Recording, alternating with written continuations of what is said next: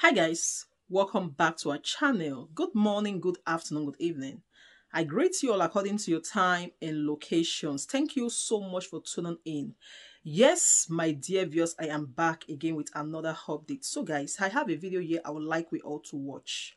But before then, if you're meeting my channel for the very first time, you're highly welcome. Please kindly do all to like, share and subscribe. Leave your thought about this video in the comment section. Let us know what you think about this video and I will see you towards the end. Begin what's trending. The House of Representatives on Tuesday asked the federal government to lift the ban imposed by former President Muhammadu Buhari on the supply of petroleum products to stations within 20 kilometers of the country's land borders. The lawmakers passed the resolution during plenary session following the adoption of a motion presented by Adegboyega Isiaka from Ogun State. While moving the motion, Isiaka argued that the ban should be lifted because petrol subsidy has been removed, adding that the continued enforcement of the ban is causing hardship to millions of Nigerians living and conducting businesses within the affected areas. In the meantime, the acting controller general of the Nigerian Customs Service, Wale Adeniyi, on Tuesday acknowledged that despite the removal of petrol subsidy, full smuggling through the land borders still persists, and that complete eradication of full smuggling may take some time. While speaking to the State House correspondents after a meeting with President Bola Ahmed Tinubu at the Aso Rock Villa in Abuja, Adeni also clarified that not all Nigerian borders that were closed by the Buhari administration have been reopened, adding that while selected strategic borders were reopened in 2022, several remain closed pending review. If you remember that uh, the borders were completely shut down uh, 2018 up until 2021, 22, when some selected uh, strategic borders were reopened. That is still the situation as we speak. And this was why we had uh, uh, an ad hoc arrangement of uh, a special unit uh, coordinated by the Office of the NSA to enforce that border closure. But as we speak, uh, about five of them have been reopened. Four were initially reopened, and two more were opened after that, and that is still the situation. There are ongoing processes to review this situation against the objective of the border closure itself. In some border uh, areas, we had reports of uh, seizures of uh, uh, fuel, and uh, that is what we had. We have seen that they are still smuggling it across the borders. The rates at which this is smuggling, being smuggled, has reduced considerably. Are seeing that despite the uh, subsidy removal, false um, smuggling persists in land borders, as the Controller General has said, and that was one of the measures that, you know, President Muhammad Buhari had put in place. Well, in another development, Former presidential spokesperson Femi Adesina has reacted to Bishop Matthew Hassan Kukah's comments during the 60th anniversary celebration of Afe Babalola's call to bar in Ekiti State which he stated that Nigeria witnessed the ugliest face of corruption during the Buhari administration. Bishop Kukah had also accused Buhari of developing just his hometown of Daura in Katsina State, insisting that Katsina enjoyed development over time, owing to the fact that it is the hometown of the former head of state, which does not speak well of democracy. While reacting to Kukah's comments in a post on Twitter, Femi Adesina stated that the bishop was simply pained. He wrote, who listens to that bishop again? He's still paying that he got no under the CASA patronage from Buhari, unlike in the past. As he they paying them, he they sweet us. Well, let's take a listen to Bishop Kukah before we come back for a discussion.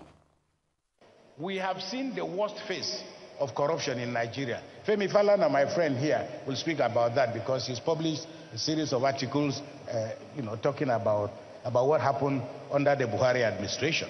They were not the ones who caused corruption, but I think in the last administration we saw the ugliest face of corruption in many, whether in moral terms, financial terms, or other terms. And I'll mention that before I close. The sad story, let me put it that way. The very fact that Daura has had the opportunities that it has had, it has never had since its existence. And that even Katsina, that is next door, has not seen the development that has taken place in Daura. Nothing personal. But just to say that we cannot run a skewed country, a country with such skewed opportunities and privileges, and pretend that we're in a democracy. All right, Rufai, you know that Bishop Kukah has been a stern critic of uh, the Buhari administration and the president himself as well. Quickly, uh, everything Bush, Bishop Kukah said was correct. There was accelerated development in Daura because of President Buhari. A lot was taken down. A lot of people kicked against it when it happened. And for Mr. Femi Adesina that says, do people still listen to Bishop Kukah? Hell yeah. Of course. Bishop Kukah has been a voice in this country for over 30 years. Absolutely. And his voice is louder than Mr. Femi Adesina's voice, obviously. Let's not deceive ourselves. And what he said is right. And please, when people give feedback, let's stop criticizing them and say they're not getting castle privileges. Where was Mr. Femi Adesina when Bishop Kukah's church was attacked in Kaduna during the uh, Deborah crisis? All right? When all, what all are the things he had gone through? Where was he when Bishop Kukah had to sit on that Oputa panel for reconciliation of this country? Where was he then? Let's call a spade a spade. When people criticize government, you take the meat of the criticism and move on from it. But anyway, Mr. Femi Adesina is doing his work.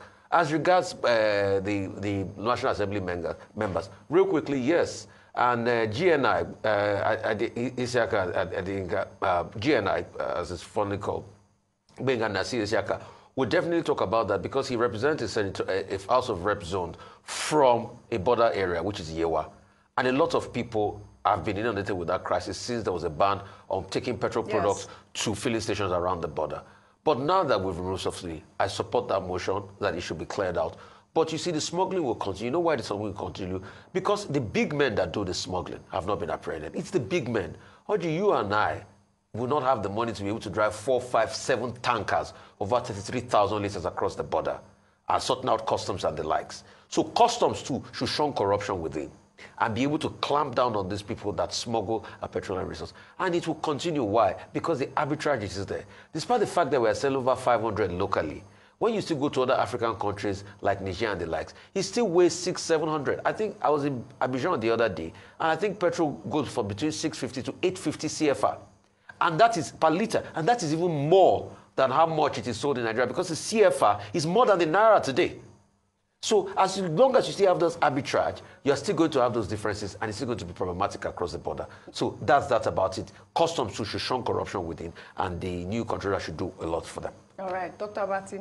Okay. Well, the uh, proposal, which had been uh, endorsed by the House of Representatives uh, from uh, Honorable Gboyega Isiaka, representing Egbado North Imeko Afon Federal Constituency, uh, you know, is in order. But it should not end with his own constituency. He is from Imeko Afon, which falls within, you know, the radius of 20 kilometers uh, to the border.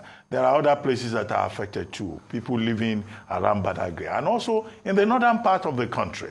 Now, in 2019, when the president said, don't take fuel to within 20, border, uh, 20 kilometers to the border, uh, this was because of uh, you know, the smuggling that was very rife at that particular time. But now that fuel subsidy has been removed, it is only fair and it is in order that the House of Reps is now recommending that, look, take fuel to those places because those, the owners of those fuel stations, they are doing businesses.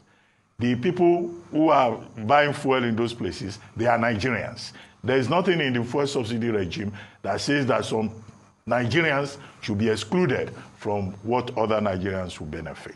However, the counterpoint is the point made by Wale Adeni, the acting controller general of customs, that there is still fuel smuggling. Yes. Uh, but that they're going to put a system in place to continue to check that, and that nobody should expect that fuel smuggling will end overnight. That it will still be there, but what, what he has observed is that there has been a very serious reduction in the scope of uh, fuel smuggling across the border. And well, that's understandable, but that review that they need to do would should take along this recommendation from the House of uh, Reps so that nobody feels left out of Nigeria. And it is very curious because, again, part of that review, they need to monitor the waterways.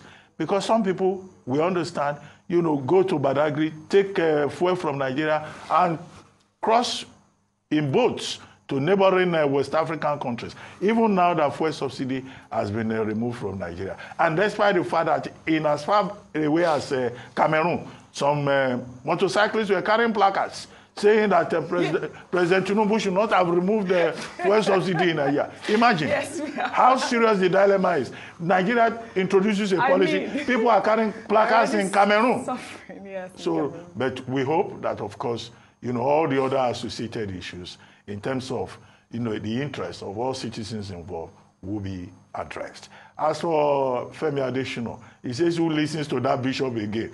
Well, people are still listening to Bishop. Kukah every Sunday, every morning. People troop to his church to listen to him. He's head of a whole uh, uh, diocese. If people are not listening to him again, why did they invite him to come and speak at uh, We have the picture. at the 60th anniversary of, uh, uh, you know, Chief Afe They Babalola's even invited him to the Aso Rock Villa before Buhari So, left. well, I bet, you know, uh, Femi Adesina, well, he and uh, uh, Bishop Kukah, well, make they will make up. Absolutely, They will make always. After all, the, the job has ended. Each one has moved on to something else. But Bishop Kukah will still be there, you know, whether anyone likes it or not. and uh, we must all tell ourselves, the assessment of the Buhari administration, as is the case with other administrations, will continue. Nobody can dictate the perspective, you know, um, and everybody should have their say. After all, he was president of all Nigeria, not uh, president of Aso Rock. He was president of all of us, including Bishop Kukah, and who has a right under the Constitution to express his views. Well said, Dr. Bati. We'll take another. So guys, thank you so much for watching. How wanna see the video? Wait till I think about this video. Make a leave in a thought for the comment section. I'll see you in my next one. Bye for now.